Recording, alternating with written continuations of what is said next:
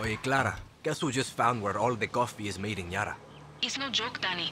This is where the army forces farmers to give up their harvests or get thrown into the camps. Castillo grows a rich from the profits and the people starve.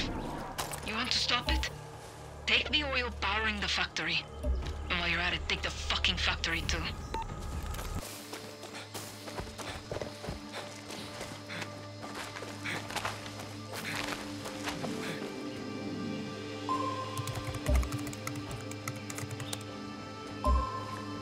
An alarm.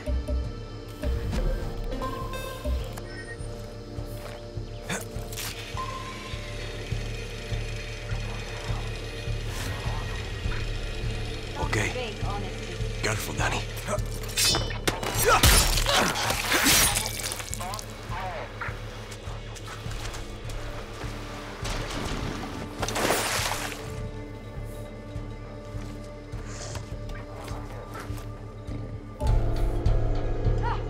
Roll! Go, girl!